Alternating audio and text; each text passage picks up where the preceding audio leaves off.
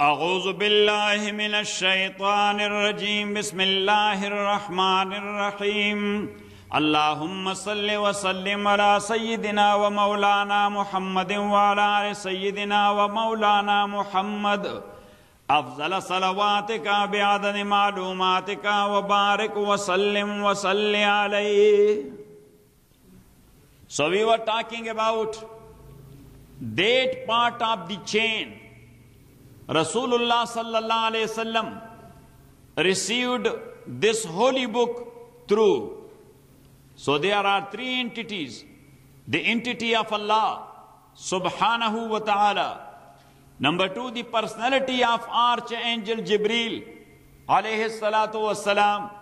And number three, the personality of our holy prophet sallallahu alayhi wasallam. So regarding Archangel Jibril, alayhi salatu wasalam. We said it in detail. Now regarding the personality of Prophet Muhammad sallallahu alayhi wasallam, Surah Ash-Shams, uh, Surah At-Takwir, Surah At-Takwir, ayah number 22. Wama sahibukum bimajnoonin and your companion is not a made man. As the people of Mecca used to call Prophet Muhammad sallallahu alaihi wasallam as insane or madman. So Allah subhanahu wa ta'ala rejected that. That your companion, Prophet Muhammad sallallahu alaihi wasallam, is not a madman. That is number one. Surah An-Najm, chapter 53 three number number two three and four साहेबुकुम your companion prophet Mohammad सल्लल्लाहु अलैहि सल्लम has neither gone astray he has neither gone astray Verma and nor he has erred any error Nar, he has erred any error. And technical meaning that Prophet sallallahu alaihi wasallam, he is not an ignorant person nor an arrogant person. Neither he is an ignorant person nor an arrogant person. In huwa illa wahyu yuha, it is only wahyu yuha, a revelation being inspired to him, sallallahu alayhi wasallam. So Allah subhanahu wa ta'ala confirmed the, the personality of Rasulullah sallallahu alayhi wasallam that he is not committing any mistake ignorantly or arrogantly. So it means his personality is authentic and trustworthy. His personality is authentic and trustworthy. The next point is the definition of Holy Quran. The theme of Holy Quran, T H E M E, and the purpose of Holy Quran. So the definition of Holy Quran is this is the book. Allah sent it down through Jibril to Prophet Muhammad sallallahu alaihi wasallam orally and verbally which is transferred to us from generation to generation and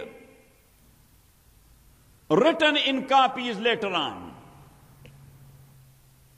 The theme of Holy Quran, that is human being, as he is bound to obey Allah subhanahu wa ta'ala. Because medicine or surgery, its theme or subject is also human being. But not as he is bound to obey Allah, but as he is healthy or he is sick. Got it? But here, that is, as he is bound to obey Allah subhanahu wa ta'ala. And this is mentioned in the first ever wahi received by Rasulullah sallallahu alayhi wasallam, Suratul Alaq. Prophet wasallam used to retreat or seclude in the cave of Hira for certain days and nights every year to sanctify his inner side. So once he was there, when suddenly a man appeared in the cave, and he said, Iqra, read. And Prophet ﷺ said, Ma ana biqarin. I am not a literate man. I am not a literate person. So he squeezed him. Again he said, Iqra, read. So again he said, Ma ana biqarin. I am not a literate person. He squeezed him for the second time. Once again he said, read. Prophet ﷺ answered the same way, Ma ana biqari'in. So he said, فَغَتَّنِيَ الصَّالِسَ For the third time he squeezed me to such an extent that I got afraid of my life, that maybe this guy will kill me. Yes. And then he released me and he started. اقرا بسم ربك الذي خلق خلق الإنسان من علق اقرأ وربك الأكرم الذي علم بالقلم علم الإنسان ما لم يعلم Got it? What it means? Iqra, read. Learn, recite. Iqra, three meaning. Read, recite, learn. So recite, recitation is related to Holy Quran only. The reading of Holy Quran is called recitation. So recite Holy Quran. Number two, read or learn whatever you can. Read and learn. Huh? Whatever you can. If that is not prohibited, if that is not prohibited. And to some scholars, there are two things, and to some other, there are three things that is prohibited in Islam to study and to read. Number one, the music. Number two, the magic and sorcery. And number three, the astrology, not the astronomy. There are two things. Astronomy is needed. We must study it. Yes? Space technology. And then, Bismi Rabbika, in the name of your Lord. So it means whatever you are going to study or to read must be in the name of Allah subhanahu wa ta'ala. So we the Muslims, whenever we start doing anything, we say Bismillah ar-Rahman ar-Rahim. In the name of Allah, the Beneficent and the Merciful. And when you are reading something in the name of Allah, so it must be something lawful. This must be something lawful. If you are going, for example, to steal the property of someone and you say Bismillah ar-Rahman you will lose your iman. If you are going to kill someone, yes, with Kalashnikov, and you say, Bismillah ar-Rahman.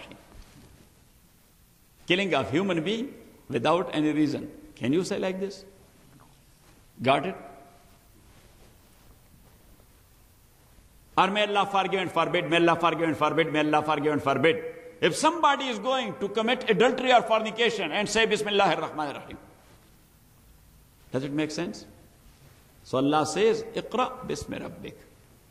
Where there the name of Allah is to be mentioned, lawful and allowed, permissible. Iqra bismi rabbik allazi, read in the name of your Lord. In the name of your Lord. So the third point is, Allah subhanahu wa ta'ala mentioned the word Rabb. Rabb means Lord, provider, master, owner. Why he mentioned this? To remind us our pledge of allegiance we have given to Allah when we were in shape of spirit. When we were in shape of soul and spirit. Suratul Araf, ayah number 172. وَإِذَا خَزَ رَبُّكَ And remember when you were Lord, أَخَزَ رَبُّكَ He brought forth min bani Adama from the children of Adam. Min zuhurihim from their loins and backs.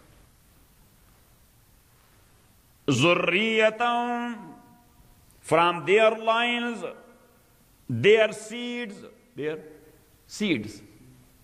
وَأَشْهَدَهُمْ عَلَىٰ أَنفُسِهِمْ And he made them to testify.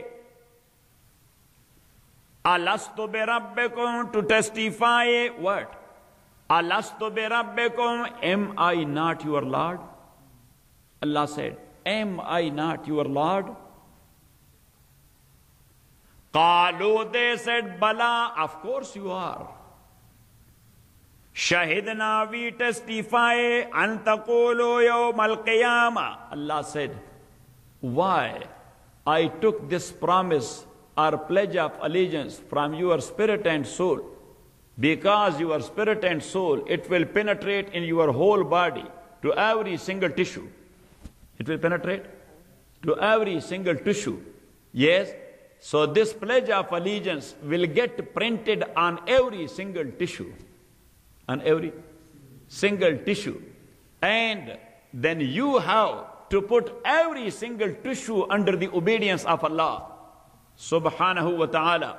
And if not, so every single tissue will testify against you on the day of judgment. And then every single tissue would be punished by Allah subhanahu wa ta'ala accordingly. Now you got it? This is the philosophy of Quran. Surah Hamim as-Sajdah. Vayawma yuhsharu a'da'ullahi and remember the day yuhsharu a'da'ullahi when the enemies of Allah will be gathered ilannare to the fire fahum yuzaguna and they will be collected there in groups. They will be collected there in groups because there are different parts of the hellfire. That group number so and so, that's in zone number so and so. Group number so and so in zone number so and so. May Allah forgive and forbid. Till when they reach the hellfire shaidalim sam'uhum. Their hearing means ears. Shaidalim sam'uhum wa absarum their ears and their eyes shaidalihim. Juludum and their tissues. Julud means skin. Skin is consists of what? Tissues.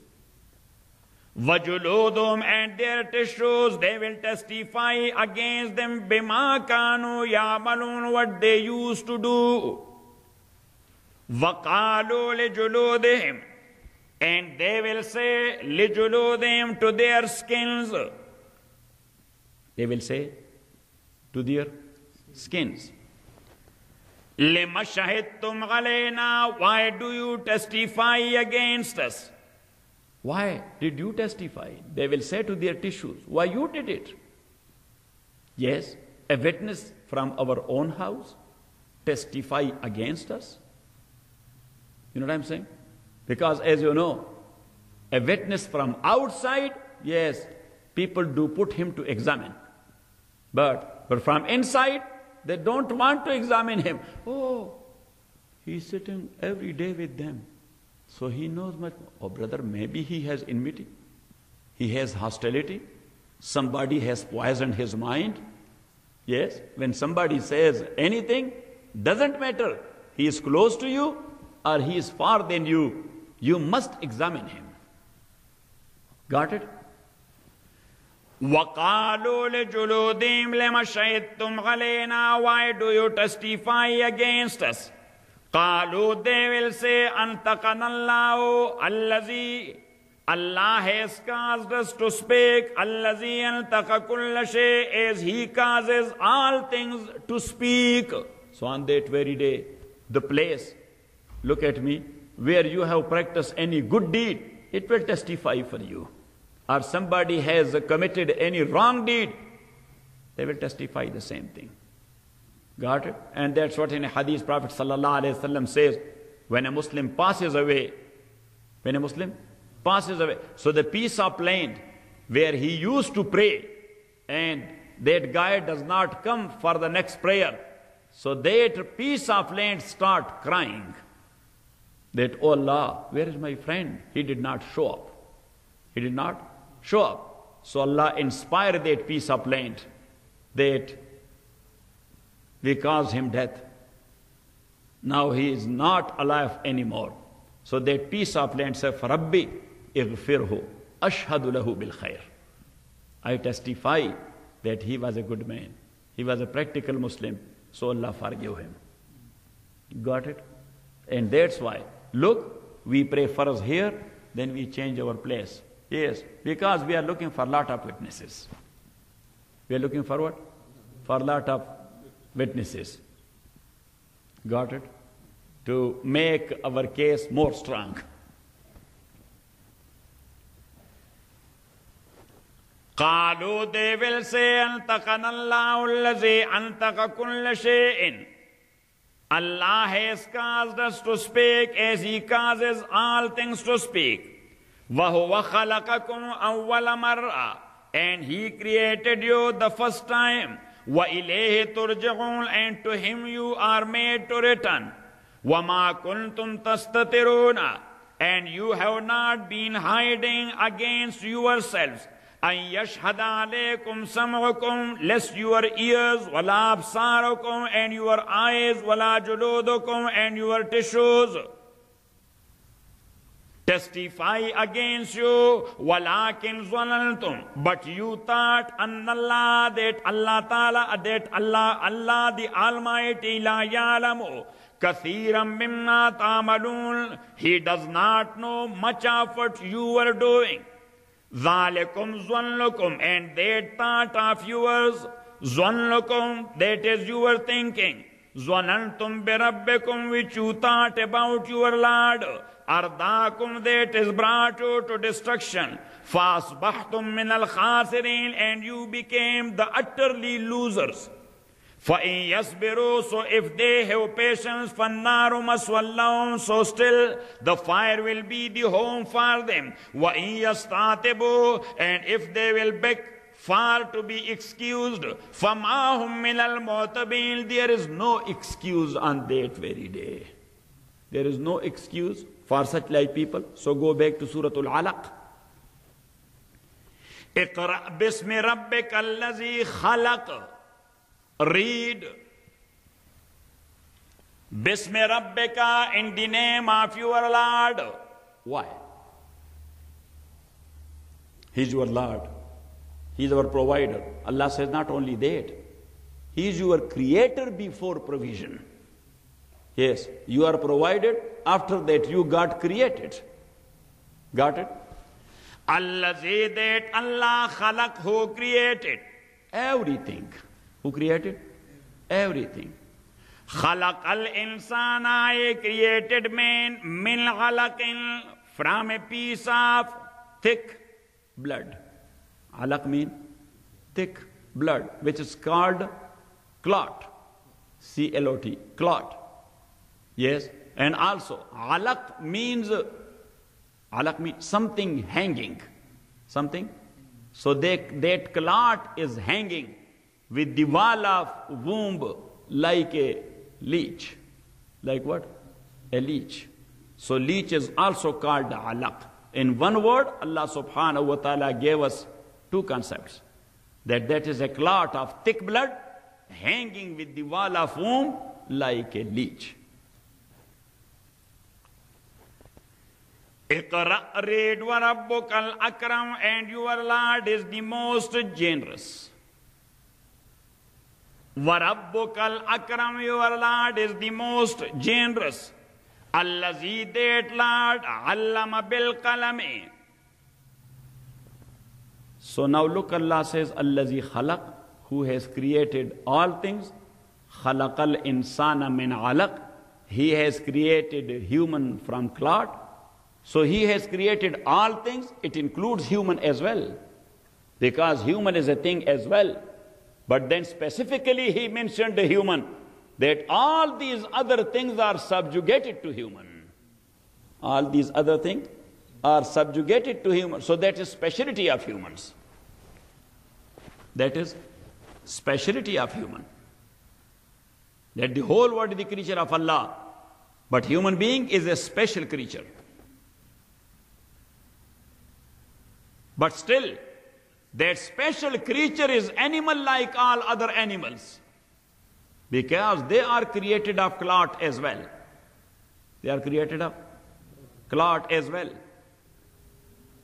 So then for further more speciality, Allah said, Iqra read wa rabbukal akramu and your Lord is the most generous. Allazi that one allama bil kalam who has taught the writing by the pen.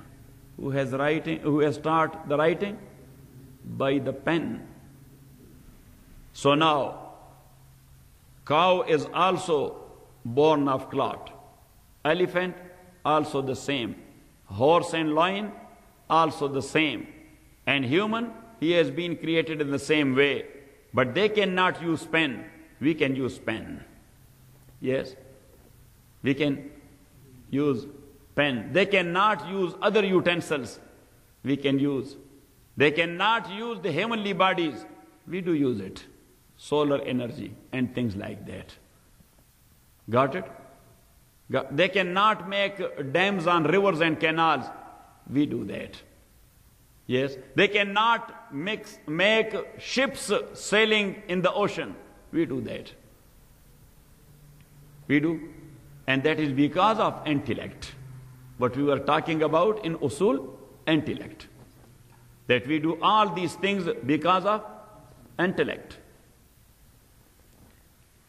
Allah allama bil kalami, we start the writing by the pen.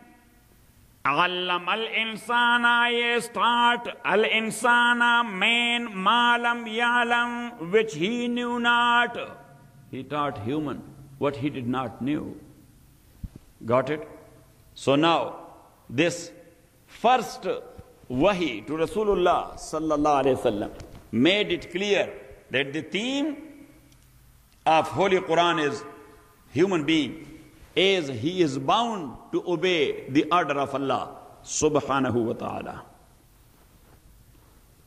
Got it? Then the same human is dividable to two groups in the same surah, Suratul Alaq. Divided to two groups. Number one, the obedient. And number two, the disobedient. So look, ayah number six, seven, eight, nine, ten. Kalla, it is true. Innal insana layatga, verily man does transgress all bounds. Man transgresses all bounds. That is disobedience. And when he does that, when he sees or feels himself that he has become self-sufficient. When a human, he becomes rebellious to Allah, violate the boundaries, the moment he feels, I am self-sufficient, I don't need anybody. Yes, and the moment it came into your mind that I am like this and this is the start of your destruction. May Allah forgive and forbid. That is the start of, now you are gone. Now you are gone. This concept is actually challenging the authority of Allah subhanahu wa ta'ala. Because self-sufficiency, that's only the quality of Allah. Nothing else is self-sufficient. Is there any? The kings are not self-sufficient. They are. The powerful countries, they are not self-sufficient. The army, that is not self-sufficient. Yes, army can fight, but they cannot make decisions. Yes, and that's why Winston Churchill said, yes, war is such a serious a thing to be left to the generals alone. Yes. He was a very sharp guy. Yes. He was a sharir, but he was a sharp guy.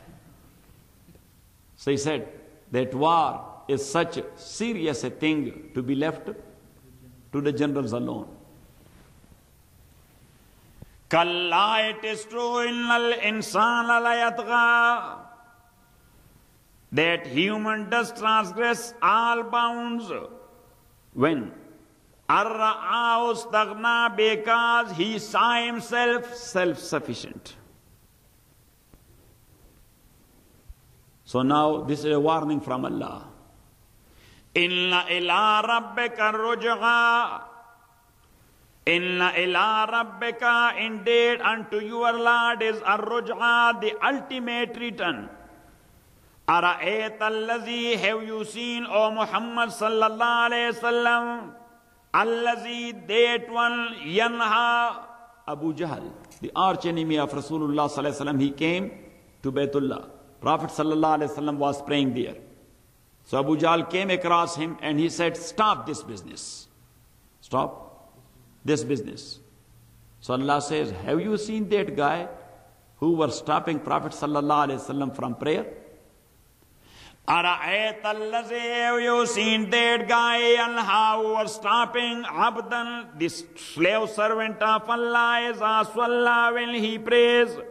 Araeta, tell me, il kana ghalalhuda, if the slave of Allah subhanahu wa ta'ala is on the guidance, or amara bit taqwa, or enjoins piety, Araeta and tell me, Il kazzaba tawalla, that the enemy of Muhammad sallallahu alayhi wasallam, if he denies and turns away, alam yalam, he doesn't know. Bi anna Allah yara, that Allah subhanahu wa ta'ala see. Allah subhanahu wa ta'ala sees. So here Allah mentioned two types of people. Number one, the obedient one. Number two, the disobedient. So it means that the theme of Holy Quran, which is human, that is dividable into two groups. Dividable into two groups. One is obedient, the other one is disobedient. Now, what is the purpose of Holy Quran? Why Allah sent it? Three things. Number one, to correct our faith, character, and actions. Three things are there faith, character, and actions. Faith is the base. Faith is the base. If you will give, it will give you a strong base and foundation. People without faith, yes, they are shivering every day. They are confused people. They are? They are or not? They are confused people because they don't have any base. So faith. Number two, noble character. It will make your personality. Noble character. It will make you, you are a person of your own words. You are committed to your tongue.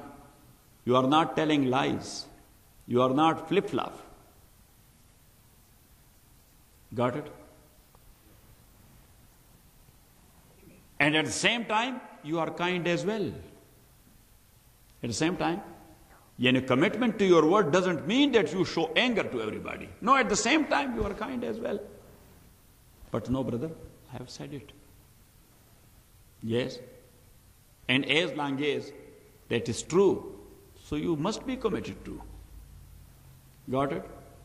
In our Pashto language, yes, the word is not that good, but we say in Pashto, Chijuba prechodal, oh, Khaza prechodal. Yes? In Pashto language, we say, yes, oh, to throw away my words, that is just like throw away my wife. Yes, and throw away one's own wife to divorce her in Pashtun culture. Yes, you cannot conceive. Yes, all other, you know, some other cultures are also like this. There are different cultures. Every community they have their own culture, and that is respected. That is respected. But there are you know different cultures, and got it or not it? Yes. So in our culture, the thing is like this. So, so to correct your faith, your character, and your now when you build up your character, now the ultimate result of that is your action is okay. Because actions come out of character. Actions come out of character. If action and deeds are there and character is not there, so people will be praying and still they will be telling lies. And still they will be cheating. And still they will be stealing. And still they will be defrauding. And still they will be doing hypocrisy. Because that practice does not come out of character. That's only action. That's only. And that's what we said in Dawat. That knowledge without action, knowledge without action is a darkness. Yes, and action without knowledge, that's a fitna. Yes, action without knowledge, that is a fitna. Got it? And that's what Sayyidina Jabir ibn Abdullah radiyallahu ta'ala anhu he says, تعلمنا الإيمان والعلم والعمل معا عن رسول الله صلى الله عليه وسلم. We learned Iman, ilm and amal, all three together from Rasulullah sallallahu alayhi wasallam. Means there were three basic classes or three important classes and that was Iman. Number two, knowledge. Number three, practice. So the purpose of Holy Quran, number one, these three things. Number two, al-i'tisam bil-urwati al to hold firmly the rope of Allah subhanahu wa ta'ala to hold firmly the rope of Allah subhanahu wa ta'ala. Surah Al Watasimu bihablillahi jami'a and hold fast. And hold fast all of you together the rope of Allah subhanahu wa ta'ala and that is Holy Quran. That is Holy Quran.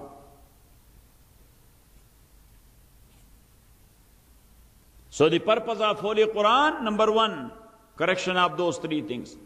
Number two, holding firmly the rope of Allah. And number three, Islahul Ma'ashi wal Ma'ad to build up, to build up your life in a good way here and in a good way in the hereafter. Surah Bani Israel. In hadha al-Quran, verily this holy Quran, ya the guides lillate to that hiya which is most just and right, balanced. So if you want to make your life a balanced one in this world, you have to follow Quran.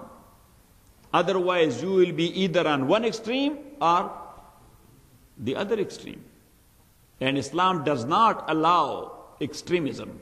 Islam gives us a balanced concept, a balanced way of life. In hadal Qurana, verily this holy Quran, yeah, the guides the light to that yaqwam which is balanced in this world. Vayubashirul mu'minina, and it gives yubashiru happy news and glad tidings. Al-mu'minina to the believers, allazina, those believers, yamaluna salihate, who practice righteous good deed, annalahum ajran kabira, that they will have a great reward on the day of judgment. وأن الذين and those لا يؤمنون who believe not بالآخرة in the hereafter أعتدنا لهم we have prepared for them عذابا أليما a painful torment a painful torment الحمد لله رب العالمين والصلاة والسلام على رسوله محمد وعلى وأصحابه أجمعين اللهم ربنا تقبل منا إنك أنت السميع العليم وتب علينا إنك أنت التواب الرحيم اللهم ربنا ارحمنا بالقرآن العظيم وذكرنا من القرآن ما نسينا وعلمنا منه ما جهلنا واذكرنا تلاوته آناء الليل وآناء النهار اللهم ربنا अल्लाह रबना असलना शानना कुल्ला वला तकिल्लाफ़तफ़तैन रबना auction आकबतना फ़िलमूर कुल्हा व अजरना मिन खिजुनिया व आज़ाबिल आखिरा ओ अल्लाह सुबहाना हुआ ताला whatever we are doing to the best of our knowledge and to the best of our effort, we are doing it for your good pleasure. So Allah subhanahu wa ta'ala be pleased with us. O oh Allah, accept us and give us a reward here and also in the hereafter. O oh Allah, all these brothers and sisters who are attending your holy book, Oh Allah subhanahu wa ta'ala, this holy book is the only connection to your entity. Oh Allah subhanahu wa ta'ala, connect them to yourself. Oh Allah, connect them to yourself. Allah subhanahu wa ta'ala, make their lives easy. Make their lives easy. Make their lives easy. Allah subhanahu wa ta'ala, give them prosperity here and also in the hereafter. Remove our difficulties. Grant us our needs and necessities. Also make a dua for me. This is the last Darsi Tafsir. Inshallah on Monday will be leaving for Hajj. May Allah subhanahu wa ta'ala make it easy for us and may Allah subhanahu wa ta'ala accept it. May Allah make it easy for us and may Allah subhanahu wa ta'ala accept it. May Allah subhanahu wa ta'ala make it easy for us and may Allah subhanahu wa ta'ala accept it. So if life is there, so we will be big. And if not, then we will make dua for each other. Yes, because everything is known to Allah subhanahu wa ta'ala. وصلى الله تعالى